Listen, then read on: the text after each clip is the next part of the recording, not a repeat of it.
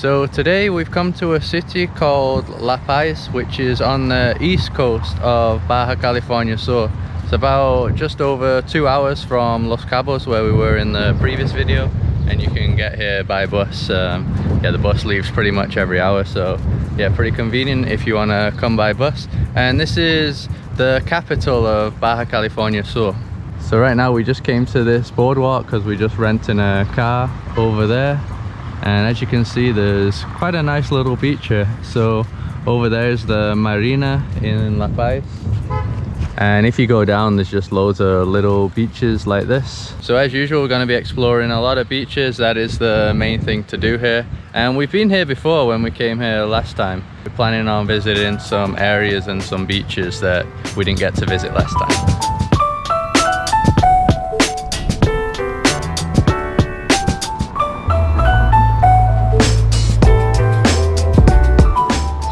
This is the car that we've rented that Carol is gonna be driving. Yes. What is it? Uh, Nissan Sentra. Yeah, so it's a full-size car. So we rented this car from City Car Rentals. I'll put their link in the description because a lot of you guys always ask about where we find the good car rental places and it was uh, $40 per day and that's if you're renting like for for a week. And the thing we like about this company is there's no hidden fees. That's the worry for a lot of foreigners right? Sometimes you arrive in a country and then you get charged all these extra insurance prices sometimes more than double what you paid for online. But with them it is no hidden fee so that is the price that it shows online as well. And when we read in the reviews everyone was talking about that that they're good so yeah, it seems like it's a great company to rent a car from if you're in this area. Probably in other areas of Mexico. Yeah, I think they have in Cancun as well and other uh, touristic areas. And also the price already includes the insurance. insurance. So that's also a good thing, a good deal. Yeah, a good deal. And as I said before, we're going to head to the beach now. And the one that we're going to head to is about 30, 35 minutes away.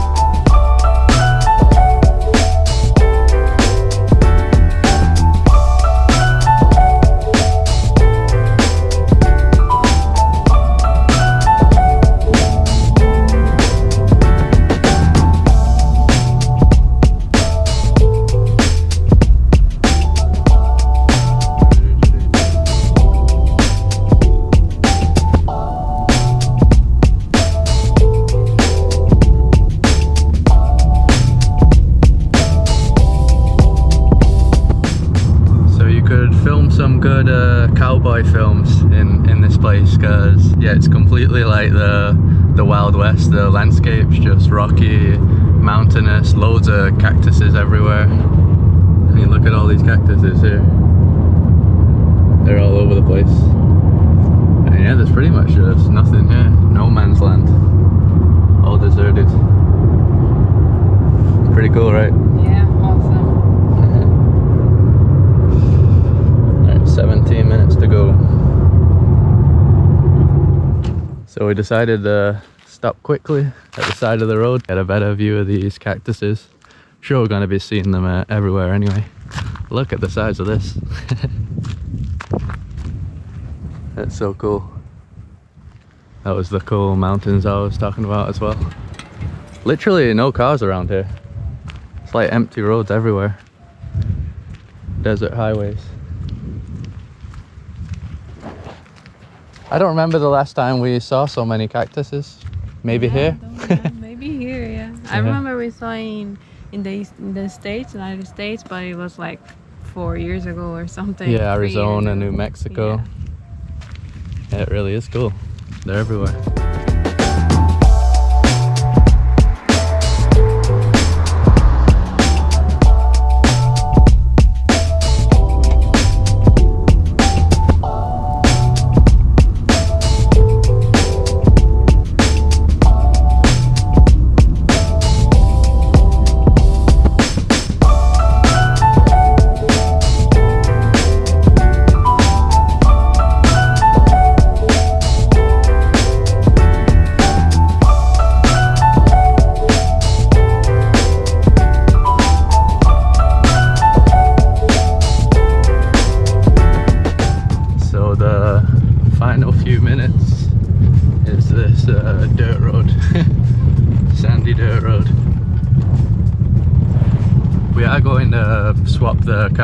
SUV because uh, yeah over the next week over the next few videos. We're going to be doing a lot of off-road stuff so it will be better.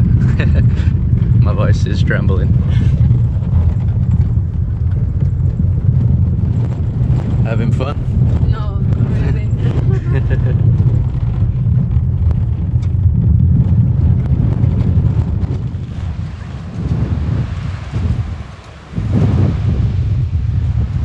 So the beach we've come to is called El Saltito. I don't know if I'm saying that right. And it's a private property. So the guy that lives there, it's like a little farmhouse back there or something. Um, yeah, you just got to pay like a tip to enter. There's no fixed price, so you just pay how much you want. We just paid uh, 20 per person, a dollar each, and he was fine with that. And this is it. Absolutely nobody here. Wow. Tiny little beach, right? Mm. Yeah, so there's some abandoned building here. Bizarre. Could be a hotel or something. Yeah, it could be. Maybe that's what the, the plan was. Oh, look at that blue. Yeah, beautiful color blue. That must be those guys' boats. I think they said two people live here. One boat each, maybe.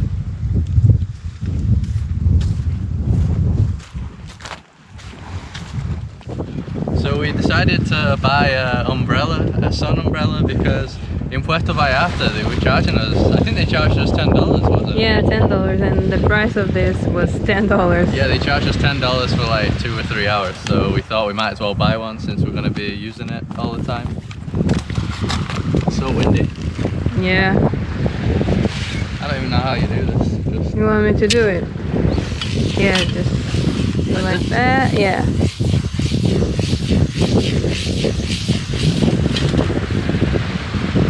Is it deep enough? I don't know. It's really windy. Because so it's windy. Yeah. I think so. Okay. Colorful umbrella. colorful it's gonna be nice seeing it from the drone. All right, Good job. we're in business.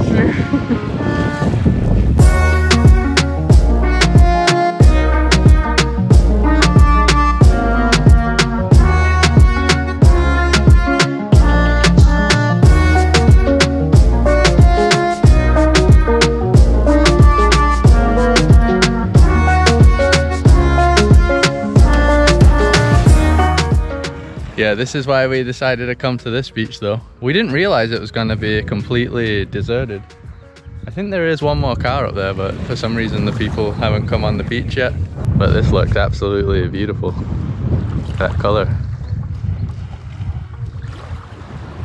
So on this side, this is the Gulf of California. It's not the Pacific Ocean anymore. Not even sure what the temperature's like. We'll see right now. Oh, still pretty, pretty damn cold, but not too bad. Quite nice. Whoa. Definitely some unique looking beaches though with this like desert like landscape with the cactuses everywhere. Haven't been to many beaches like this. Yeah, we said we've seen cactuses in Arizona and New Mexico, but not with beaches. No, especially like this. Yeah, Like and I think there's loads. Yeah, Loads of empty yeah, beaches. I think on the, the, the coast. And when we were planning the, our trip, we were seeing like so many different beaches and so many options to go. And yeah, we're excited for our next days here in Baja California. Yeah, there gonna be loads of awesome places.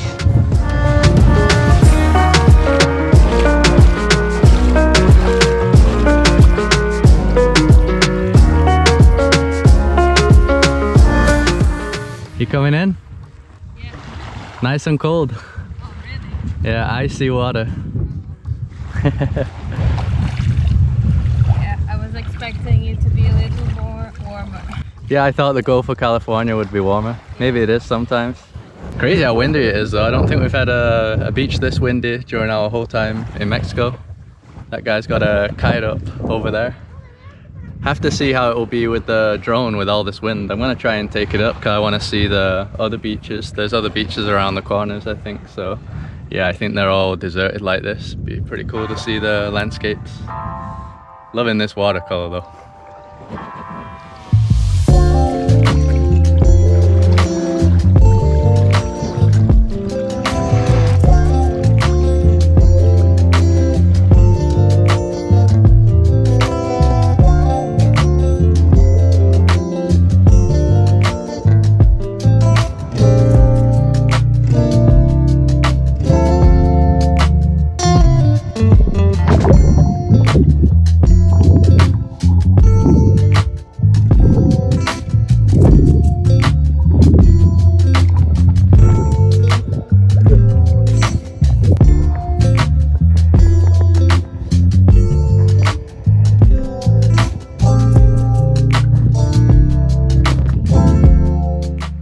Might have been some of the best visibility that I've ever seen underwater. Really is like super clear. A lot of you guys always ask me why I can uh, open my eyes in the salt water. And I don't know, I didn't even know it was something strange until everybody kept bringing it up. So um, yeah, I don't know. I've always been able to open my eyes and it doesn't seem to burn, kind of weird. And back out there you can see there's a huge island. I thought it was mainland, but we just looked on Google Maps and that is in fact an island. I think it's a deserted island. So there's quite a few islands around Baja California Sur. You can do island hopping and stuff, so yeah, that's gonna be awesome. We did it once before and I think we're gonna plan on doing it when we head to Loreto. We're gonna head to a place called Loreto and that's the place that we've really been looking forward to going because we never visited before. And in the photos it even looks better than this area, La Paz, so yeah, I can't wait for that.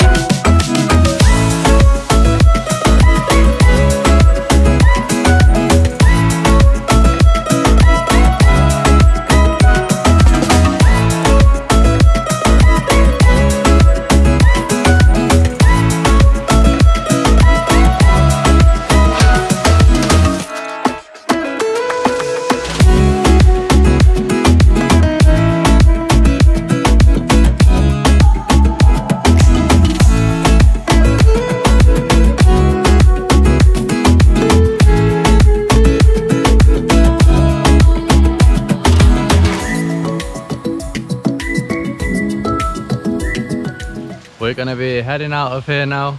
We're getting hungry and obviously there's nothing around here nowhere to eat. Didn't realize it was going to be this deserted. We probably thought there would be like some restaurants nearby but once you leave like the center of uh, La Paz literally absolutely nothing just cactus trees and deserted beaches. So yeah, I think we're gonna head into La Paz eat there and then we'll head on to the next destination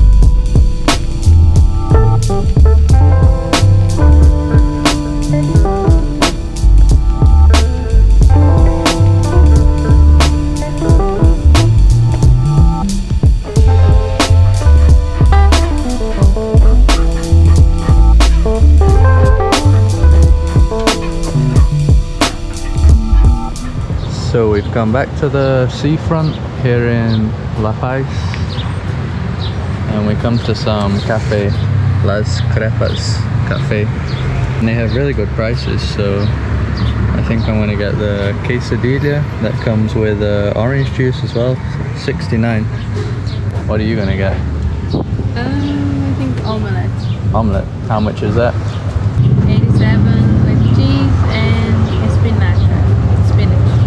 So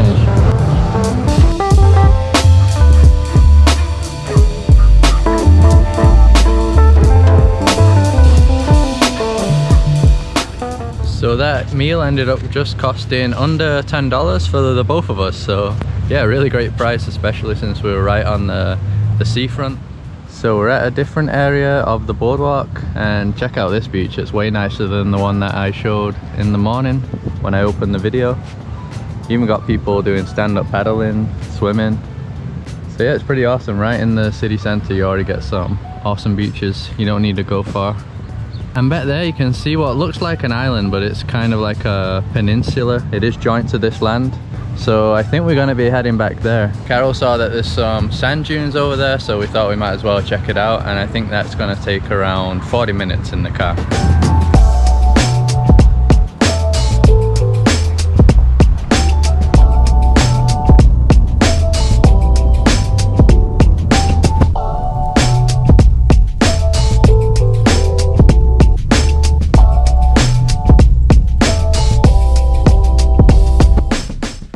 Made it to the sand dunes. It was a bit closer than we expected, about 30 minutes. These are called Dunas del Mogote. And as you can see, it's kind of a, a brown color, I guess, right? Yeah, yeah. Like a light brown. Mhm. We're too windy for that hat, Carol. Probably. Yeah. And the dunes look like they get better over there, so we'll head that way.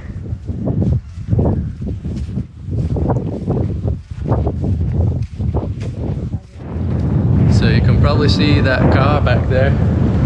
There's a black Jeep and it's completely stuck. Like two of the side wheels are way deep into the ground. So yeah, I wouldn't actually drive on the dunes. Looks like they tried to drive on the dunes.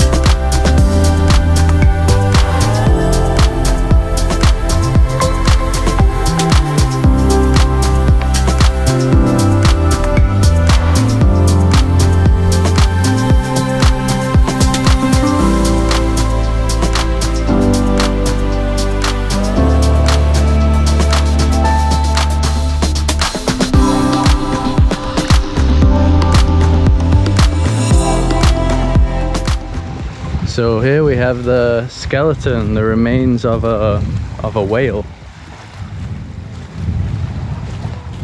Whoa.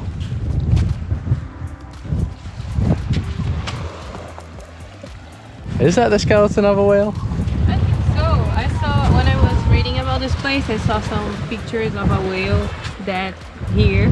But it was not the skeleton, it was the, the, the whale itself really like not alive but just Stranded, yeah. yeah, stranded here and I guess this is the skeleton.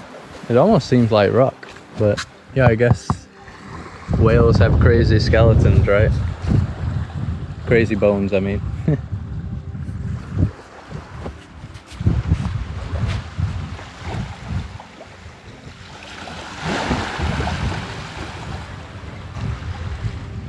so I don't know if you can see, but those buildings all the way in the distance there, I think that is La Paz where we came from. So yeah, it is. Uh, it is pretty far. I think I'll get my drone out for one more flight because yeah, I'm pretty sure these uh, sand dunes will look awesome.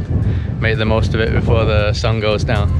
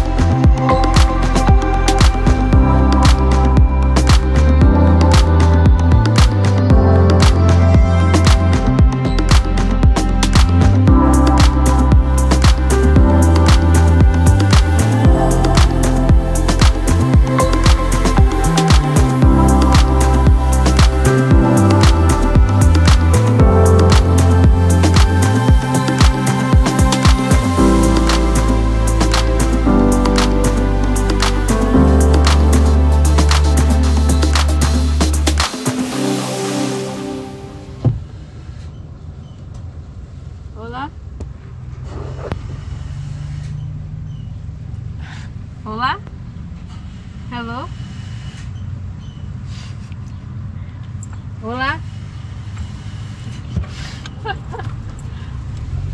Drive through fail. Yeah. Nobody's there. So we ended up getting a takeout of Little Caesars or Little Caesars, however you say it. pizza. Got some cheese bread and the go-to pizza always, margherita. So this place, La Paz, has a lot of like the stores and brands that you'll find in America. So it has the big department stores, places like Home Depot as well. I think that's an uh, an American thing, Walmart. It actually seems like a pretty good place to live. That's what me and Carol was saying earlier because obviously it's beautiful, it's super laid back, kind of seems to have everything you need. Um, it's organized. The quality of life seems pretty high here as well. I don't really see um, much poverty or anything. So yeah, the people seem to have a good quality of life here. The people that live here. And the place that we're staying is $40 on Airbnb. We just extended in cash for around $35, so we got it a bit cheaper. And yeah, it's a really nice little apartment. Here's the kitchen, just everything joined together like a lot of the places. And it also has a super fast Wi-Fi, which is great for us with um, yeah with our work. A lot of places in Mexico, when I'm uploading the videos, it takes forever. Sometimes I have to leave it overnight. Some places just don't work at all, but yeah, here's like 15 minutes or something, can upload a YouTube video, so that's great. And in the next video, we're gonna be going to an awesome beach that we've been to before called Playa Balandra. And yeah, it's a it's an amazing place. Easily one of the top five beaches we've ever been to in the world. So yeah, stay tuned for that. As always, just drop a like on the video to support us. Subscribe, like, see more videos like this. Follow us on Instagram, and we'll see you in the next video.